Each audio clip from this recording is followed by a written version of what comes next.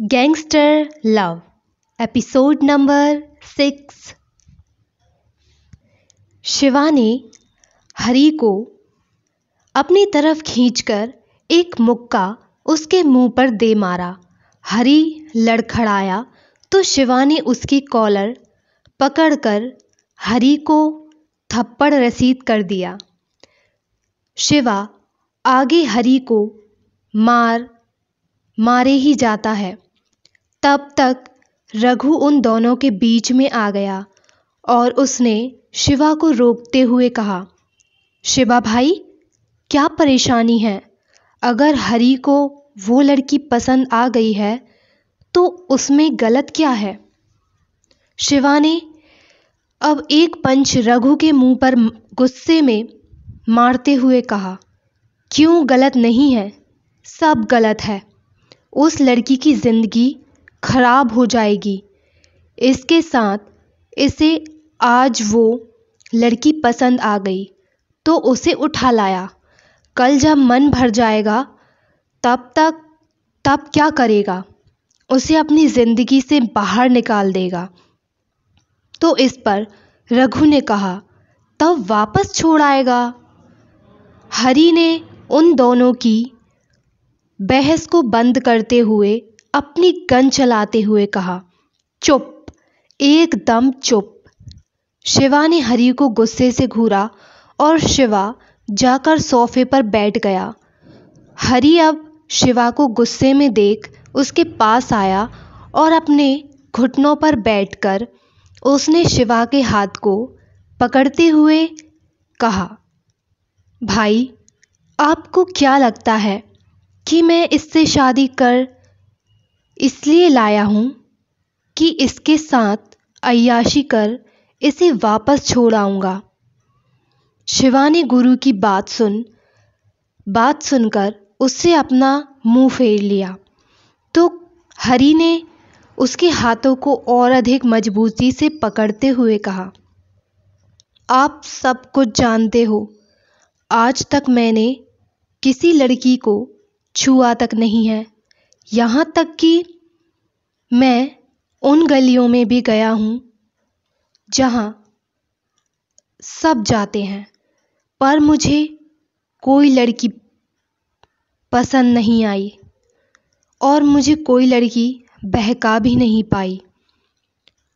उनमें से किसी को भी मैंने नज़र उठाकर भी नहीं देखा और इस लड़की से मैं अपनी नज़रें हटा ही नहीं पाया हूँ।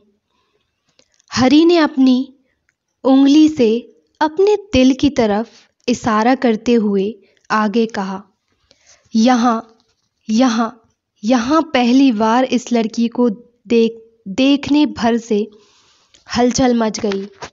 ये 200 की स्पीड से दौड़ रहा है।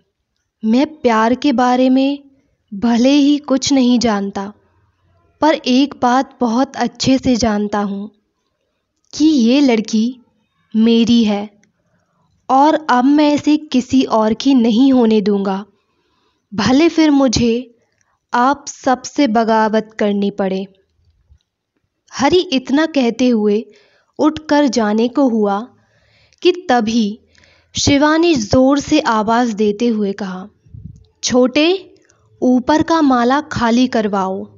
वहाँ, और हाँ वहाँ और कोई भी नहीं जाएगा। सबके कमरे खाली करवा कर सबको नीचे के कमरों में रहने को कहो। अब से वो माला सिर्फ़ हरी का हुआ। हरी, शिवा की बात सुनकर मुड़ा तो शिवा ने उसे अपने पास आने को कहा। हरी पास गया तो शिवा ने हरी के पेट में मुक्का मारते हुए कहा आगे से बगावत की बात की तो मैं खुद तुझे मार दूँगा। हरी उसकी बात सुन, शिवा को गले लगा लेता है। इधर, गौतम जी के घर में। सुलेखा जी का रो रो कर बुरा हाल था। वहीं अमन और उसकी आई बारात वापस लौट चुकी थी। इस समय पर घर में पुलिस आई थी। निशा ने जब सत्यम भागता हुआ वानी और उन दोनों के पास आया था, तभी उन दोनों ने पुलिस को सूचित कर दिया था, पर बहुत लेट आई पुलिस। अब आई भी तो वह बानी के ऊपर ही इल्ज़ाम लगा रही थी। पुलिस इंस्पेक्टर ने गौतम जी से कहा, क्या मास्टर जी, आप भी फिर से हरी के खिलाफ रिपोर्ट दर्ज करा रहे हैं। आप तो सब जानते हैं, और अब वो बिल्कुल आपको रिपोर्ट दर्ज नहीं करानी चाहिए, क्योंकि आपकी बेटी उसके पास है। और क्या पता वो खुद अपनी मर्ज़ी से गई हो। भली, बनने के चक्कर में ये सब नाटक नौटंकी फैलाई हो। गौतम जी ने इंस्पेक्टर की बात सुन, गुस्से से कहा क्या बकवास कर रहे हैं आप? आपसे रिपोर्ट लिखने को कहा, वो कीजिए बस। इंस्पेक्टर ने अपने हाँ कंधे उचकाते हुए कहा, मुझे क्या जैसी आपकी मर्ज़ी? इंस्पेक्टर ने कांस्टेबल को कुछ इशारा किया और गौतम जी ने कहा, देखिए, मैं आपको एक बार फिर समझा रहा हूँ।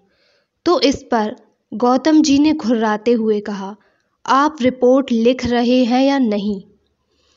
तभी कांस्टेबल का फ़ोन बजा और फिर उसने कुछ बात करते हुए फ़ोन गौतम जी को पकड़ा दिया। इधर हरी खुश होते हुए अपने कमरे की तरफ़ बढ़ गया। रूम में वानी को भी होश आ गया था। उसने आसपास अपनी नज़रें घुमाई और अपना सिर पकड़कर बैठ गई।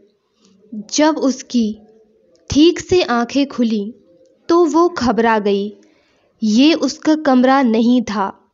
वानी को अब सब कुछ याद आ गया। रूम को देख, उसने जल्दी से खुद को देखा। गहने, उसके कपड़े, सब पहले जैसे ही थे। ये देख वानी कुछ शांत हुई। पर उसकी मम्मी का ख्याल आते ही वानी रोने लगी।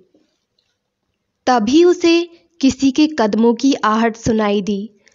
वानी जल्दी से बैठकर, जल्दी से उठकर इधर उधर हड़बड़ाते हुए देखने लगी। उसे रूम में सोफा सेट दिखा। तो वह जल्दी से उसके पीछे जाकर छुप गई। इधर हरी एक झटके में दरवाज़ा खोल कमरे में आया तो उसे कमरे में वानी कहीं नहीं दिखी। वह सीधा जाकर मिरर के सामने खड़ा हो गया। वानी ने सोफे की ओर से झांकते हुए देखा कि कमरे में आया कौन है तो उसे कुछ समझ नहीं आया, क्योंकि हरी की पीठ उसकी तरफ़ थी। वानी ने धीरे से खिसकते हुए भागने का सोचा कि तभी उसे जानी पहचानी, हरी की आवाज़ सुनाई दी, कहाँ जा रही हो? आवाज़ सुन वानी काँप उठी और एक जगह ही रुक गई।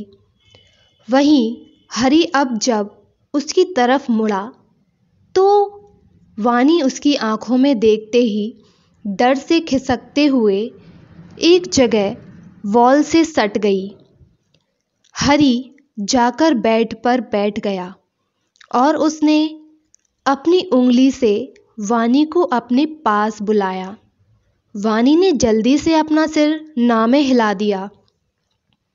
उसे देख हरी के चेहरे पर एक प्यारी सी स्माइल आ गई और हरी अपने बालों में हाथ फेरते हुए कहा, तुम आ रही हो या मैं खुद आऊँ तुम्हारे पास? वानी ने गुरु की बात सुन वानी ने हरी की बात सुन कहा, मैं मैं आती हूँ। ये कहते हुए वानी उठी और धीरे से अपना लहंगा संभालते हुए हरी के सामने आकर खड़ी हो गई। हरी ने एक झटके में उसका हाथ पकड़ उसे अपने पास खींचकर अपनी गोद में बैठा लिया। वानी ने उसकी इस हरकत पर रोते हुए उससे कहा कि क्या बिगाड़ा है मैंने आपका? मुझे जाने दीजिए, प्लीज़। मेरी मम्मी की तबीयत ठीक नहीं है। हरी ने उसकी आँसू पोंछ। उससे कहा, मैं खुद तुम्हें तुम्हारी मम्मी के पास लेकर जाऊँगा, पर तुम पहले रोना बंद करो वानी को अब गुरु की बात पर और गुस्सा आ गया। उसने हरी की गोद से उठते हुए कहा, बहुत बहुत ही घटिया इंसान हैं आप झूठे हैं। I hope I hope everyone कि आपको ये स्टोरी पसंद आ रही हो तो आप मुझे कमेंट में ज़रूर बताइएगा। Thank you for watching